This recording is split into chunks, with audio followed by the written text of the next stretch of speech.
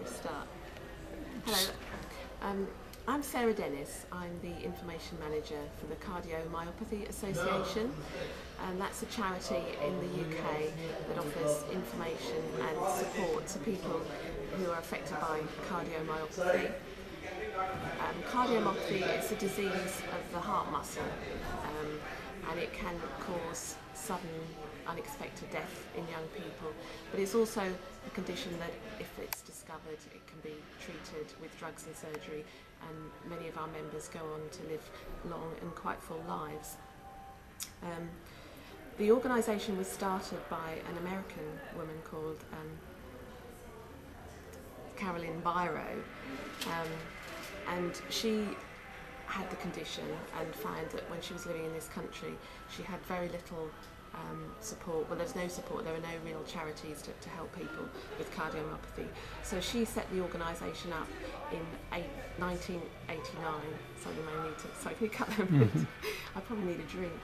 Um, Do you want to get a glass of water? or Something. Um, it's all right. Sorry. Uh, she was an American lady who came over here and discovered there, were, there was no one really offering support to, to sufferers.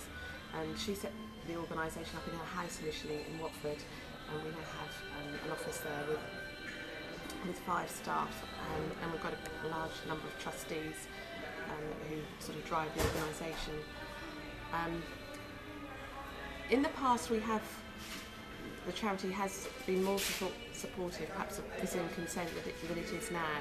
Um, we found that there was actually a very diverse view of opinion within the association.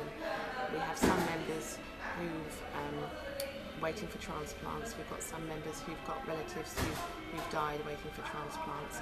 But we, we reflect all sort of society's opinions really. There are other members who um, um, you know, may need a transplant at some point that are a bit concerned about presumed consent. So we've, we've got a wide variety of opinion and we try to reflect that. Um, we are supportive of the UK Transplant Register and uh, we, we do stories about them in our magazines. And we, we'll carry pictures of the, of the donor cards that a lot of people in this country carry. And we've also done stories about the fact that the, the register is 10 years old this year. Um, and as part of its sort of 10 year celebrations, it's trying to get 1 million new donors onto the register this year by the end of um, October, and I, I, understand it's already got 700,000 donors on there this year. Um,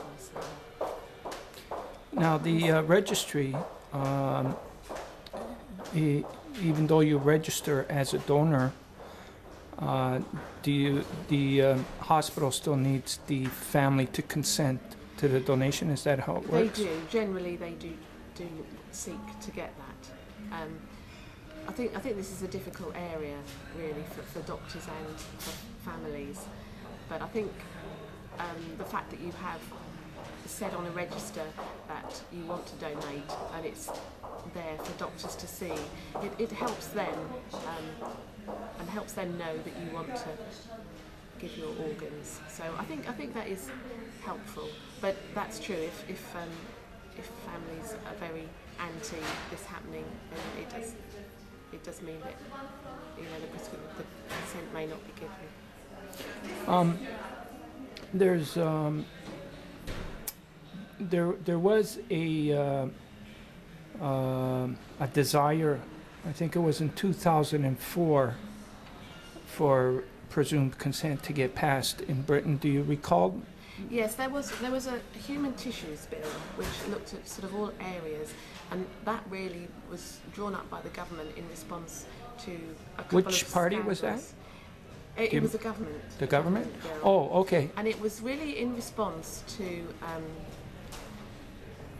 there were a couple of instances. There was ho two hospitals where it was found that um, doctors had been taking organs from, from children who had died and storing them without um, the consent of the parents, which is always supposed to be given.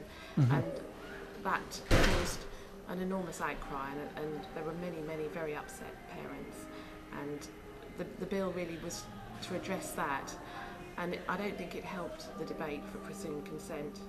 Um, it made people fear that doctors are after organs, and I think there is there is a fear with some people that that may encourage them to be taken before a patient is is actually dead, or you know there may be an instance where they may recover.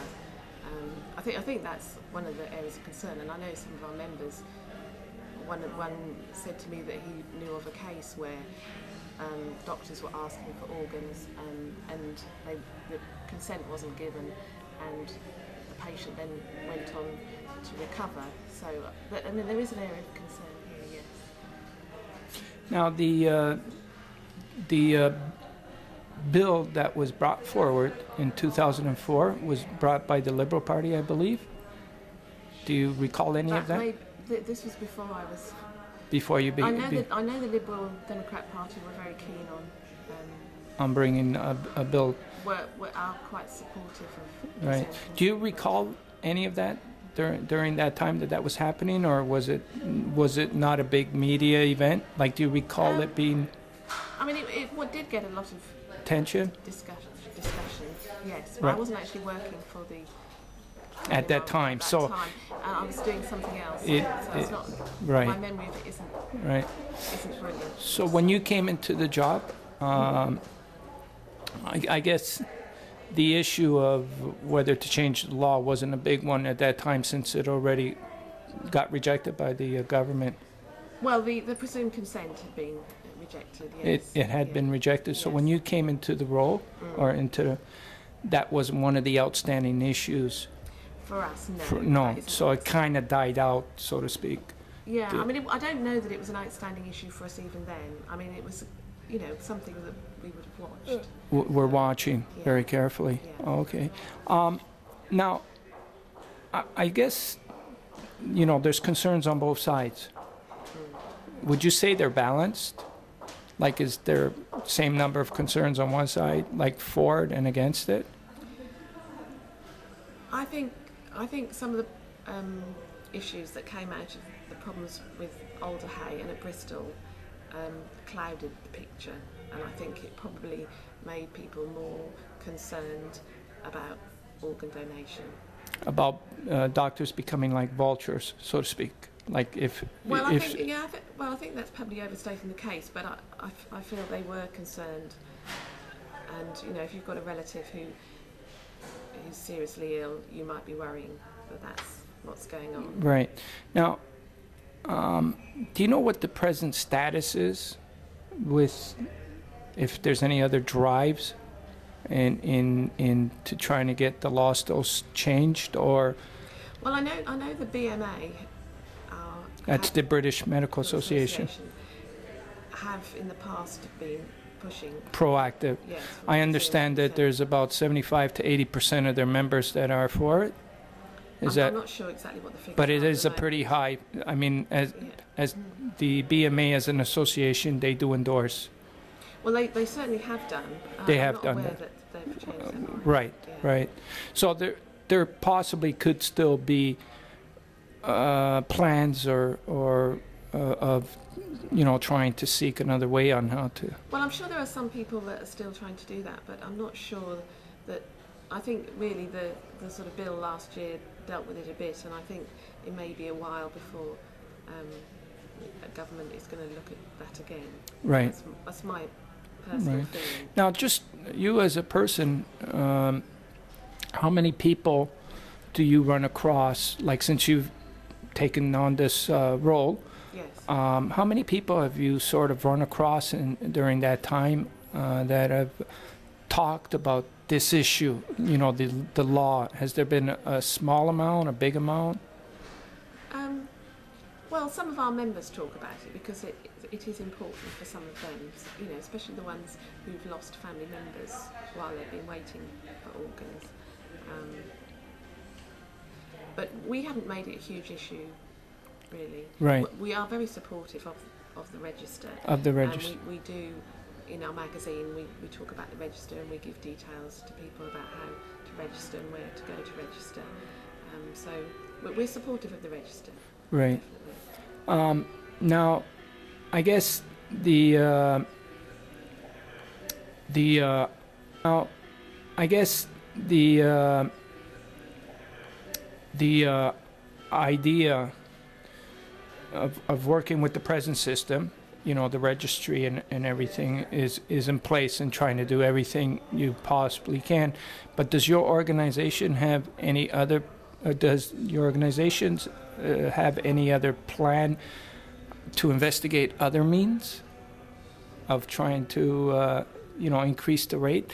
Like, is there, England has a very poor rate right now. I think it's. I think there are twenty percent of people are on the register, but I know that doesn't necessarily mean that. No, you know, that- no. that- So the the way it turns out, though, at the end, is that the people that are receiving these precious gifts is much lower than most other countries in Europe, and you know, um, so knowing that, uh, it, is there any other ideas or plans to try and address that in in this country. in this country? Um, well, I know the government um, is spending money on sort of donor liaison nurses. They think there's a route to go down to. Um, I think that's a bit like the Spanish model, where um, there are more um, sort of trained people to, to handle families at these difficult times um, and to encourage them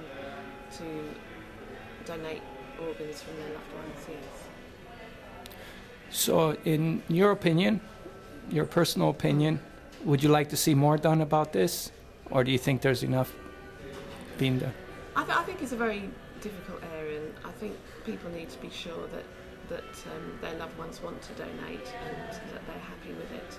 It's, it's a very stressful time for them, um, and I think it would be a shame if we got into a situation where organs were being taken from people and their relatives didn't want it to happen. Now, just on that note, any doctor that would uh, do that would get prose- persecuted just like any other person committing a crime, because that is a criminal offense. Is that correct?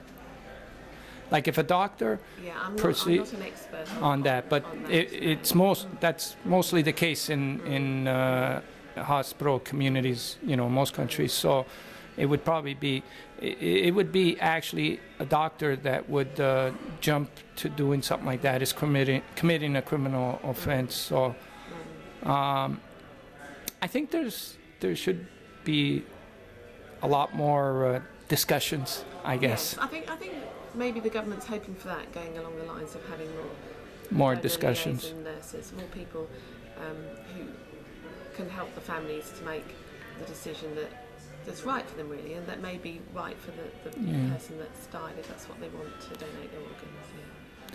Well, I think that's what every country has in mind is Mm. to try and develop the best system possible. So, um, I think should always try and keep an open mind Yeah. to see on what could be available and and you know to pursue as as as as as as, as much as possible in the area of of uh, uh, you know getting the best possible solution. Mm. Mm. So Yeah. I guess. Uh, I mean, I know, I know the government as well did have a scheme where they were trying to encourage people to join the register f- through various channels, including, um, I think it was um, when they applied for new driving licenses and things like that.